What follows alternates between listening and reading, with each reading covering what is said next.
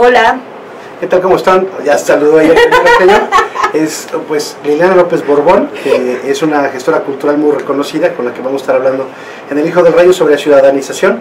Y bueno, pues yo quiero hacerles una referencia nada más. Acaba de ganar hace unos pocos meses el premio catalán Roca Boncomte, que es un premio muy importante en el mundo de la gestión cultural.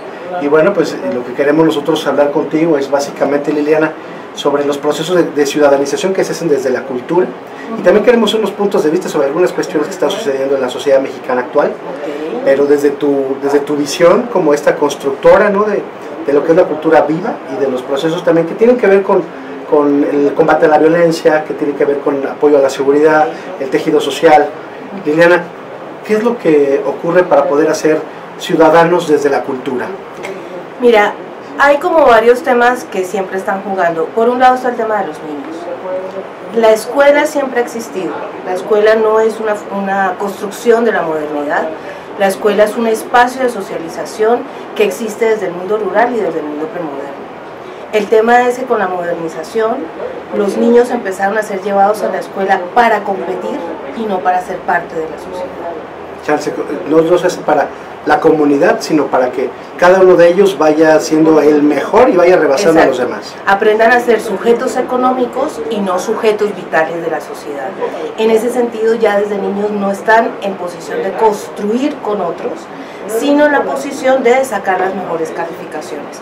En la medida en que desaparece civismo y toda la estructura artística del sector eh, educativo es fundamental generar otras estrategias en la sociedad para lograr que los niños y los jóvenes puedan construir espacios de participación, de estar con otros y de generar posibilidades para un mundo que ya no les da futuro. Porque el problema es que el futuro que se inventó el capitalismo, carro, casa, beca, dos niños, perro, gato, etcétera, eso no existe. Familia natural con dinero. Exacto. La familia natural con dinero ya se vino abajo. Entonces, el principio de romper los futuros y construir espacios para imaginar futuros son las estrategias centrales de la gestión cultural. Por eso el sistema educativo es, es así, porque responde a la necesidad neoliberal, ¿no? De que todo tiene que ser a ver si, se, si le quitan un puesto a alguien, si pueden ganar más dinero, quién tiene las mejores cosas, las mejores cosas, pero que en realidad lo que, es, lo que estamos viendo es un proceso de deshumanización y entonces ya la gente también tiene una desidia, una apatía, no participa y esto afecta a la democracia y a ellos les favorece que no haya democracia. Exacto. Ahí hay muchos mecanismos funcionando. Fíjate que cuando se construye el estado de bienestar en el siglo 19, 20, cuando se hacen los cálculos, pues Keynes nunca se imaginó que la gente darle mejor salud le pasara la vida de los 60 a los 80. Entonces, pues el sistema pensional, etcétera, se quedó se construye la idea de que todo tiene que ser no ya en el estado de bienestar que se hizo muy grande, como el estado mexicano que se hicieron muy grandes, sino que hay que generar un estado mínimo y que ese estado mínimo genere competencia porque lo que produce sociedad es la competencia, ¿no? El hombre, el lobo del hombre. De hecho, Naciones Unidas lleva mucho tiempo diciendo no es por ahí, hay que construir sostenibilidad. Y, lo, y lo sostenible en el sentido de vivimos en un mundo que le pertenece a nuestros nietos y tenemos que garantizar que como vivamos ahora, puedan vivir con los mismos recursos y las mismas posibilidades. Luego, todo el sistema de Estado, de empresas y de asociaciones civiles debería responder al modelo de sostenibilidad. Ya está formulado, ya está escrito. Eh, ¿Firmamos algún tratado sobre eso? Existe, los Objetivos del Desarrollo Sostenible se firmaron en octubre del año pasado en Nueva York, los suscribieron todos los estados, son 17 objetivos. Cultura no aparece como tal, pero si tú miras toda la estructura de objetivos, por supuesto, cultura atraviesa todos los procesos. Entonces sí hay un marco, digamos, pero las empresas no quieren jugar a eso, quieren acumular, acumular, acumular. Y el problema es que ya no estamos en un capitalismo de mercancía, estamos en un capitalismo financiero. Entonces lo que vale es el dinero, pero como no hay el dinero sobre el dinero sobre el dinero, de hecho nadie entiende cómo las cuentas públicas para el año entrante en este país no incluyen nada para el sector social no quitaron el programa de prevención del delito, han quitado, le quitaron a cultura todo el dinero, 4 mil millones le quitaron a, Secretaría de Cultura, le acaban de quitar recursos a toda la ciudad. De Cultura, además. A toda la Ciudad de México le quitaron los federales, por lo tanto, Secretaría de Cultura del Distrito Federal queda con menos 57 millones, de hecho ya es una cuenta bastante chiquita, ellos tienen 450 al año. Entonces, todas las áreas de la amalgama social empiezan a caerse porque a los reformistas, los reformistas realmente creen que tienen la razón, que hay que hacer el Estado mínimo, que hay que dejar toda la competencia y entonces empiezan a reducir y nunca paran. El problema es que ellos nunca paran, porque creen que en algún momento se va a producir una sociedad mejor y lo que está dicho es que eso no ocurre de la noche a la mañana, es decir, no, no va a ser por eh, asunto espontáneo, entonces, lo que tenemos es un descontento con toda la democracia, con, con la idea de la democracia asimilada al libre mercado. El problema es que antes la política podía manejar la economía, hoy en día la economía maneja toda la política, el mundo de lo político. Entonces, desde Rusia hasta China, bueno, China no tiene elecciones, pero quieren la democracia de las redes, por ejemplo, no la pueden tener. Hay un ejército de un millón de chinos cuidando las redes para que no entre Occidente pero ellos están metidos en un occidente vendiendo basura y acabando con el planeta. África ha sido un, territorio donde los estados, naciones ni siquiera lograron surgir de manera adecuada. Y en América Latina, desafortunadamente, lo que conocimos como izquierdas eran mucho más populistas que izquierdas y desafortunadamente mucho más corruptos de lo que queríamos. Eh, el caso de Brasil es el golpe de Estado de las corporaciones al sistema, es gravísimo el caso de Argentina deja mucho que pensar porque realmente hay como mucha, mucho conocimiento de eh, las estructuras de corrupción que se movieron durante los Kirchner, que es grave, porque esperamos realmente izquierdas decentes también. Entonces, la pauperización, digamos, de la política y su reducción al voto ha hecho también que los autogobiernos empiecen a emerger.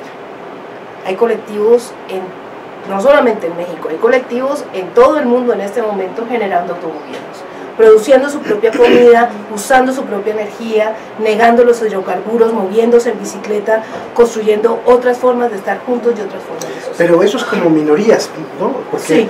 o sea, realmente es como esperanzador pensar en esta posibilidad de comunidad, pero realmente de manera masiva lo que tenemos es, es un brutal este, y total ataque de, de las corporaciones, entiendo este asunto que comentas de las izquierdas desafortunadas de América Latina.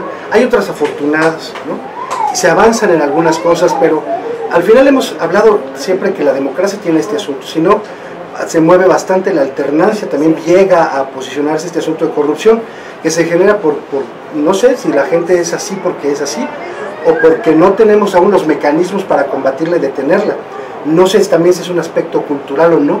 Yo veo naciones en los, en, los países escandinavos que no veo con estos problemas.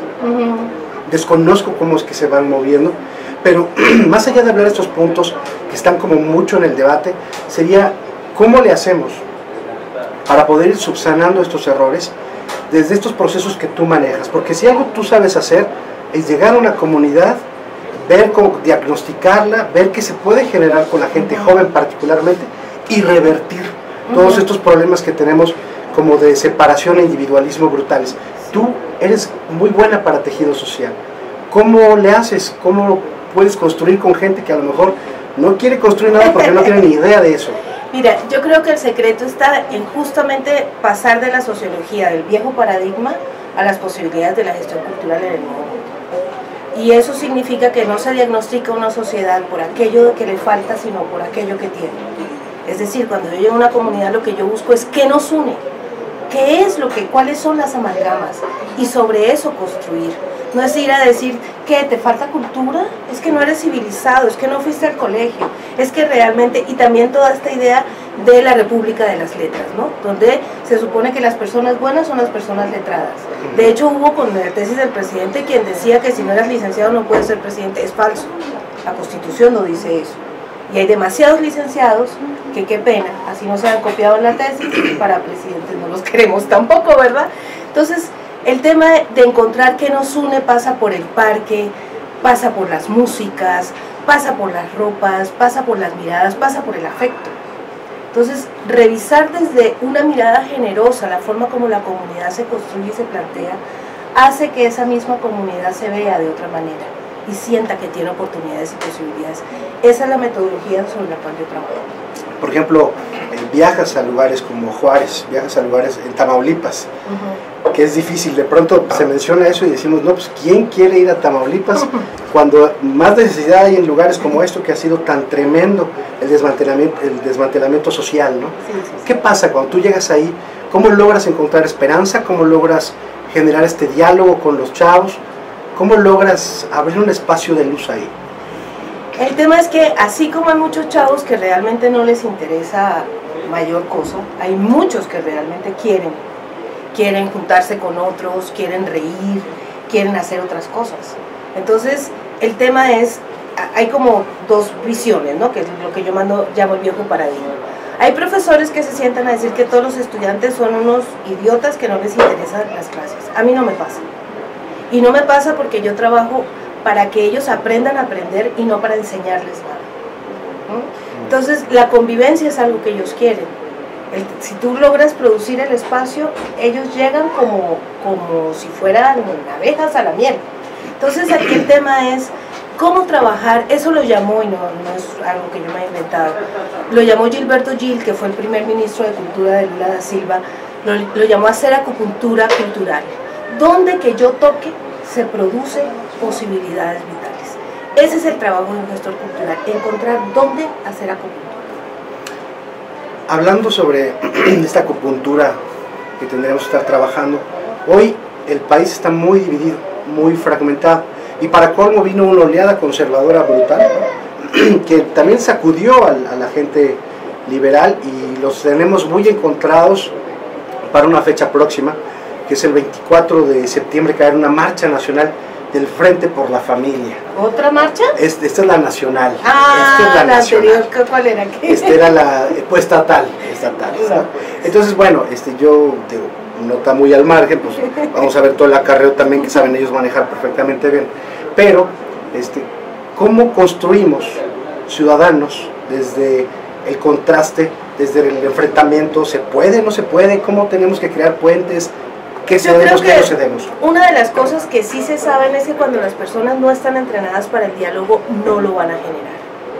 Es decir, tú no te sientas a dialogar con alguien de profamilia, convencerlo de que el cuerpo de la mujer es de ella y que no puede intervenir en el feto. ¿Y entonces qué nos ocurre ahí? O sea, que ellos son minorías y que están también en las lógicas de la democracia.